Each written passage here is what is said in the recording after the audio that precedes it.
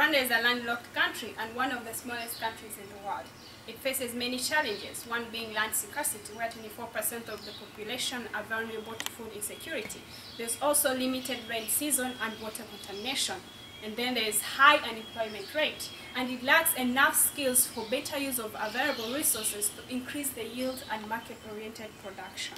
So, RYIAT project was found to address the challenges that are previously mentioned by establishing an integrated model farm to reduce 66% of subsistence and increase commercialized farming up to 67% in rural areas. We achieved that by teaching and training small and medium-scale farmers and unemployed youth the systems that utilizes small space to ensure high production and also mandala system that provides high quantity of fruits and vegetables that will be benefiting from organic liquid fertilizer produced by tilapias from the same system.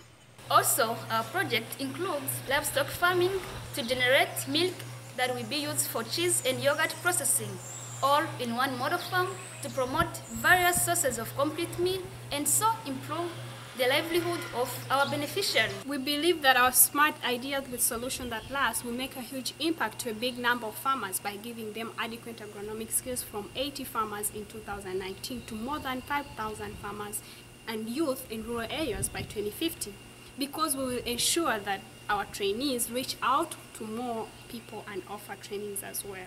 In addition to that, we'll be publicizing our daily achievements through means of communication so as to reach out to every individual within the country and outside for RYIAT to impact as many people as possible in the world and so reduce hunger and poverty through sustainable and integrated agriculture.